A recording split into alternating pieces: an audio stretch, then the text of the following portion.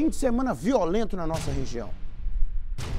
Em Governador Valadares, um jovem de 22 anos, ele foi morto a tiros na porta da casa dele no bairro Tiradentes. O crime aconteceu na noite desse domingo. A Alessandra está chegando aqui ao vivo para contar desse crime. A gente começa falando desse homicídio aqui em Governador Valadares. Bom dia para você, Alessandra, por favor. Bom dia, Nico. Bom dia para o pessoal que nos acompanha.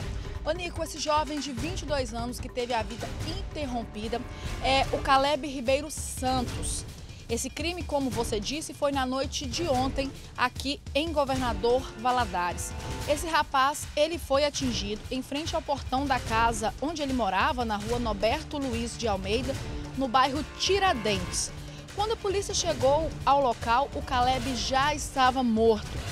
De acordo com o boletim de ocorrências, a vítima estava sentada em uma cadeira na porta da casa dele quando um homem encapuzado numa bicicleta chegou e perguntou pelo irmão dele. Na sequência, disparou várias vezes contra a vítima, que foi atingida no rosto, no tórax, nos braços e também nas costas. A perícia da Polícia Civil recolheu 13 cápsulas de calibre 380 e mais cinco projéteis. Segundo testemunhas, o criminoso teria fugido sentido ao bairro Vitória. A polícia continua à procura dos, dos autores aí desse crime, Nico.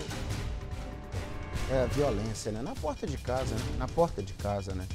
É. Obrigado, Alessandro. Daqui a pouquinho você está de volta. Olha a quantidade de disparos, pelo menos de disparos, né? Que cada tabelinha daquela que está no chão lá, aquela marcação, significa a quantidade de cápsulas é, que, que foi capturada, né, resgatada ali pela, pela perícia técnica. A gente viu pelo menos 12 sendo colocados lá no chão, né?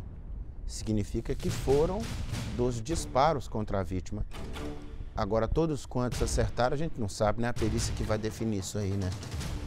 Nossa Deus do céu, misericórdia. Violência.